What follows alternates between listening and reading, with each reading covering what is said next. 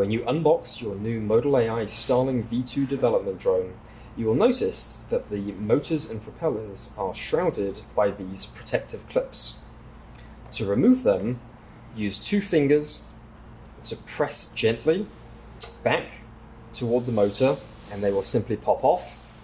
To reapply, slide them on from the motor end, center the U-shaped clip over the motor bell housing, and then with your thumb, push it firmly onto the motor and it will snap in place.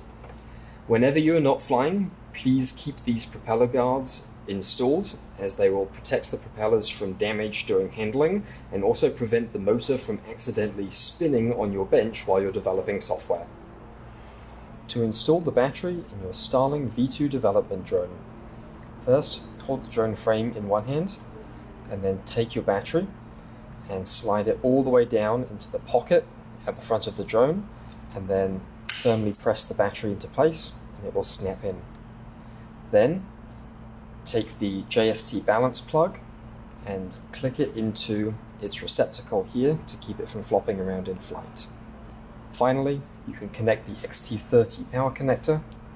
The drone will power on and you can tuck the XT30 connector and the wires into the little clips to keep the wires from flopping around during flight. This is an overview of the critical hardware components on your Starling V2 development drone. First, we have the VOXL 2 autopilot. Next, we have a GPS unit for outdoor flight. And the two blue wire ends are the 915 megahertz antenna for long range ELRS radio control. This is the APM or Advanced Power Module, which provides voltage sensing, current sensing, and 5 volt regulated power supply to the autopilot. This is the barometer shield that protects the barometers from sunlight and wind noise. This is a USB Wi-Fi dongle for SSH and VOXL Portal. Onto the image sensors on the front of the drone, we have a 4K high-resolution color camera for onboard video recording, onboard snapshots, and also FPV video streaming.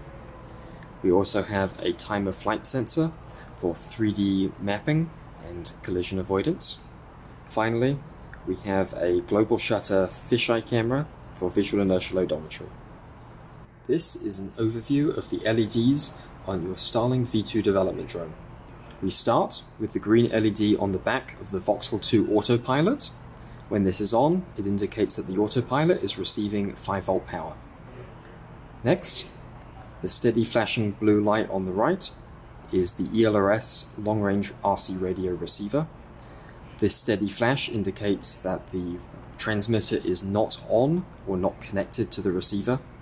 If this is on steady, it indicates that the transmitter is connected. If this is flashing in a heartbeat pattern, that indicates that the ELRS receiver is in binding mode. The green LED under the GPS unit indicates the state of the GPS fix. We are currently indoors with no satellites visible, so the LED is steady green. When this starts flashing once per second, it indicates that a 3D fix has been achieved. The green LED on the underside of the VOXL 2 autopilot indicates that the autopilot has booted up.